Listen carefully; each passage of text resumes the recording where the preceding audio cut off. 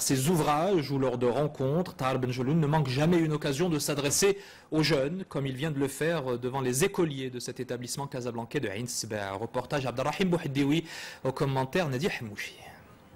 Pour lui, ils ont déroulé le tapis rouge, fait une stand innovation et même offert des fleurs. Ce n'est pas tous les jours que ces écoliers reçoivent un écrivain, poète et de surcroît prix Goncourt. Un véritable événement. Son dernier ouvrage, Mes contes de Perrault, adapté au contexte oriental, a particulièrement séduit le jeune public.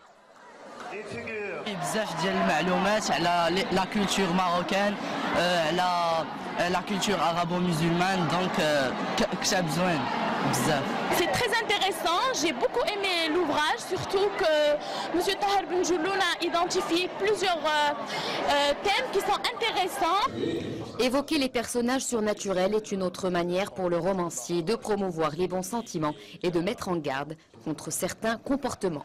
Euh, je sors un peu du cadre de la littérature pour devenir un, moraliste, parce que je crois euh, au contact et je crois à la morale, et que nous avons des valeurs humanistes dans ce pays qu'il faut, euh, répandre, et notamment dans, dans mes contes de Perrault, mon dernier livre. Tahar Benjeloun a pu, le temps de cette rencontre, partager sa passion pour l'écriture et son goût pour la lecture.